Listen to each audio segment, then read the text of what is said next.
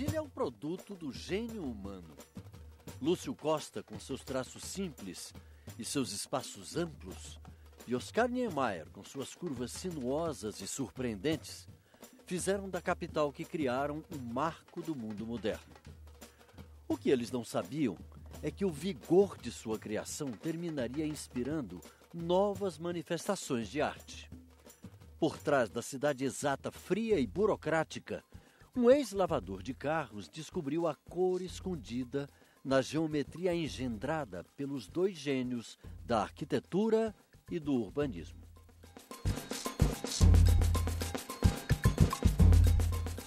Osana Bezerra é um homem simples, nordestino, pobre, trabalhador.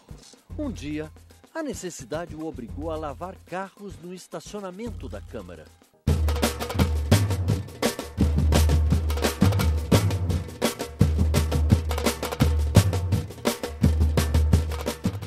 Isso, os quadros de Osana, que vem chamando a atenção da mídia e dos especialistas, se apropriam da magia das retas e das curvas de Lúcio e Oscar, em desenhos caprichosos, preenchidos com as mais vivas cores tropicais.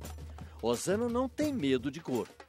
Na euforia com que as espalha suavemente pela tela, o ex-lavador de carros realiza o sonho do menino de casa amarela, lá no Recife onde ele nasceu o sonho de pintar a vida com as mais fortes cores do mundo.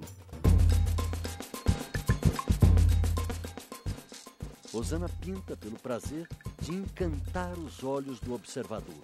Pinta para encontrar e provar que a harmonia existe.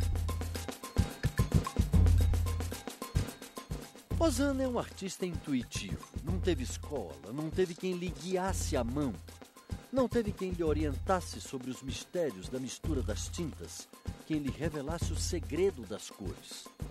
Tudo o que faz é produto da intuição e de um bom gosto que ele próprio só foi descobrir que tinha quando desandou a arrancar de dentro das telas um mundo inteiro feito de luzes e traços. É um desses artistas do povo que talvez nunca se deem conta de que na criatividade que jorra de dentro deles pode estar a redenção de um país colorido e alegre, onde mora uma gente que muitas vezes desconhece o seu próprio potencial. Talvez neste instante, exatamente agora, alguém esteja enxaguando a porta de um automóvel e desenhando com a imaginação o painel colorido e alegre de um país vocacionado para a felicidade. Osana Brasil!